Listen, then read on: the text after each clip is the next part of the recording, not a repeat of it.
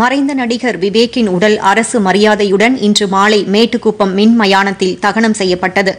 விருகம்பாக்கத்தில் அவரது இல்லத்தில் வைக்கப்பட்டிருந்த உடல் மயானத்திற்கு எடுத்துச் செல்லப்பட்டபோது இறுதி ஊர்வலத்தில் ஆயிரக்கணக்கானோர் பங்கேற்றனர். இறுதி ஊர்வலத்தில் ரசிகர்களும் திரைப்பட துறையினரும் பொதுமக்களும் திரளாக கலந்து கொண்டனர். சாலையின் இரு மருங்கிலும் ஏராளமானோர் திரண்டு மறைந்த நடிகருக்கு பிரியாவிடை அளித்தனர்.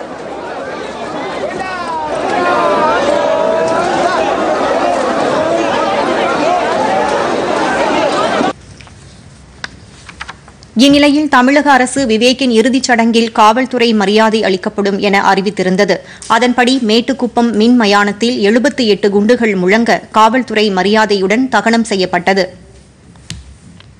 இதனிடையே நடிகர் விவேக் பிறந்த ஊரான தென்காசி மாவட்டம் சங்கரன் கோயில் அருகே உள்ள பெருங்காட்டூர் கிராமத்தில் அவரது திருவுருவப் படத்திற்கு பொதுமக்கள் மாலை அணிவித்து அஞ்சலி செலுத்தினர்.